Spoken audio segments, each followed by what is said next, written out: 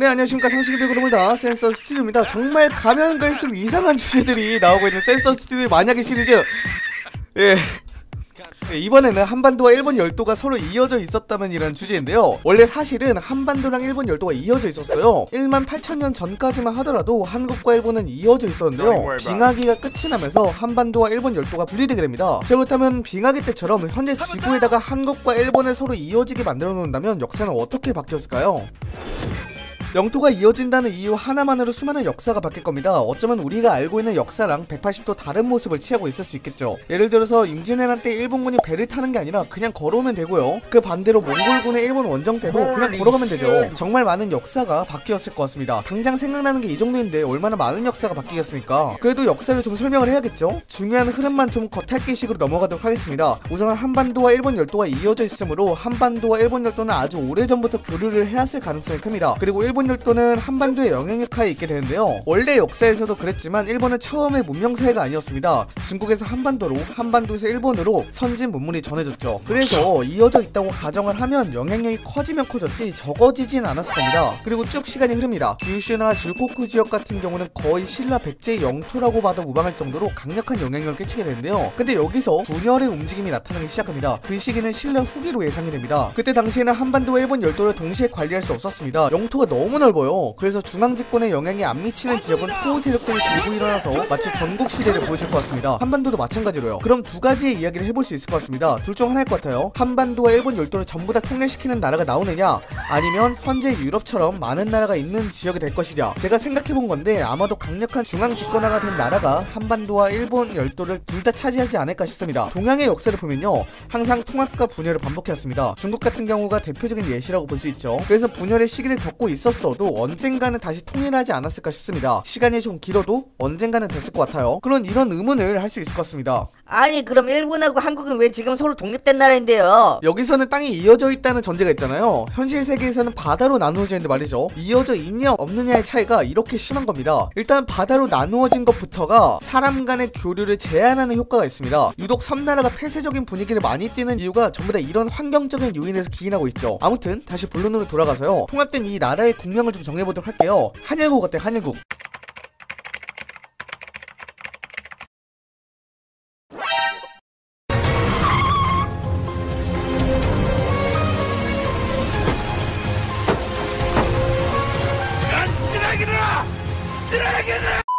아 제발 악플 쓰지 마줘 네 아무튼 이 한일국은 동양에서 중국에 견딜 정도로 강력한 나라로 성장하게 될 겁니다. 실제 역사처럼 근대화를 제일 먼저 이룩한 나라가 될 것이고요. 한반도와 일본 열도를 가진 이점을 따라서 제국주의 국가가 되었을 수도 있습니다. 아마 그 후 이야기는 한국과 일본 현대사와 비슷하게 흘러갔겠죠. 그리고 냉전의 최전방에 위치한 나라가 됨에 따라서 거의 비슷한 역사를 가지고 가지 않을까 싶습니다. 더 자세하게는 나무위키에 논란 생길 것 같아서 여기까지만 할게요 자 역사를 설명했으니까 이 나라에 관해서도 설명을 좀 해야 할 것 같습니다. 우선 수도는 후쿠오카가 될 것 같습니다. 일제강점기 당시에 일본은 수도천도 계획을 하고 있었습니다. 그 지역들이 후쿠오카, 오카야마, 용인시 이렇게 세 개였는데요. 원래는 용인 쪽으로 천도를 하려고 했었대요. 한반도를 발판 삼아서 아시아에 진출하려고 말이죠. 근데 이 세 개는 좀 다르게 봐야 할 것이 진작에 같은 나라였고 한반도와 일본 열도의 정중앙에 위치한 지역이며 수도 입지가 제일 좋은 지역을 기준으로 찾아봤을 때 후쿠오카가 제일 입지가 좋다는 것입니다. 지진도 상대적으로 덜 나고 한반 한반도와 일본 열도를 이어주는 정중앙에 있기 때문에 영향력을 펼치기 가장 좋은 지역이죠. 그래서 후쿠오카가 한일국의 수도가 되지 않을까 싶습니다. 나라의 전체 인구수는 1억 명 정도이고요. 거의 한국과 일본을 합친 나라가 되지 않을까 싶습니다. 한반도가 가진 잠재력과 일본 열도가 가진 잠재력을 발판 삼아서 세계 경제를 주름잡고 있겠죠. 또한 다양한 인종들이 사는 나라가 될 텐데요. 현재 한국은 단일민족 국가입니다. 하지만 일본과 통합하는 과정에서 단일민족 국가가 아니게 됩니다. 일본 본토에서는 본래 살고 있었던 에조라던가 구마소 같은 민족들이 있었거든요. 또 현재도 있는 아이누족이나 류큐족도 분명히 있고요. 그렇기 때문에 단일 민족 국가는 되지는 못합니다. 하지만 다양한 인종들이 사는 나라로 변모했겠죠. 아마도 다민족이긴 하지만 한민족이 압도적으로 많은 나라가 되었을 것 같습니다. 현재 프랑스나 러시아처럼 말이죠. 이 과정에서 소수민족을 탄압하는 사건들도 몇몇 있을 것 같습니다.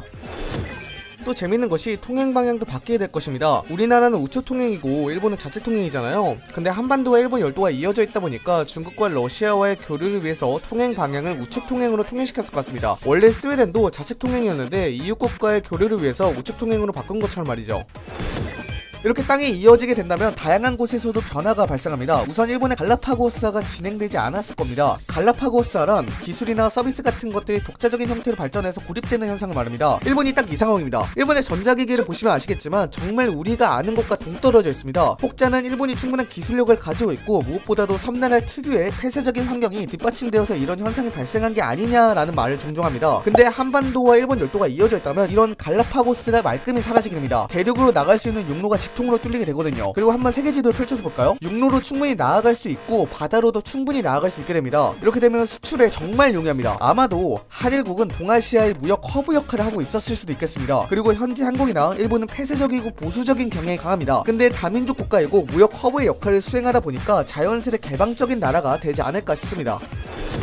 자 그렇다면 동해는 어떻게 되었을까요? 아마도 유럽의 지중해나 흑해에 비슷한 모습을 취하지 않을까 싶습니다. 일본 열도에서 한반도로, 한반도에서 러시아로 이런 식으로 활발한 교류의 장이 열렸겠죠. 현재 동해보다는 덜 중요한 지역이 되었겠지만 흑해나 지중해가 유럽에 막강한 영향을 끼쳤던 만큼 이 동해도 상당히 중요한 전략적 요충지가 되지 않을까 싶습니다. 이제 이 말을 좀 해야 할 것 같습니다. 중국을 견제할 수 있는 확실하고 강력한 나라가 등장했다는 것이죠. 군대도 육군 쪽으로 몰려있거나 해공군 쪽으로 몰려있는 형태가 아니라 골고루 분산된 형태일 거고요. 경제력도 중국의 준하는 경제력을 가졌을 테니 중국을 견제할 수 있는 확실한 세력이 되지 않았을까 싶습니다. 그리고 앞에서 말한 것처럼 냉전의 최전방에서 활동했다고 했으니까 미국과 우방국이었을 것이고 미국과 함께 중국을 견제했을 것 같습니다.